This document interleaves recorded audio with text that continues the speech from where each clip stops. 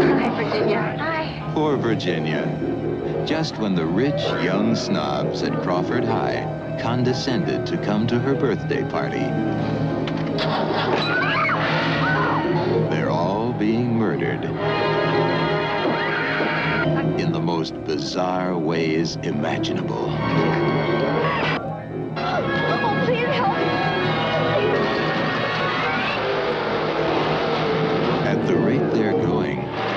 Be nobody left to go to her birthday party alive.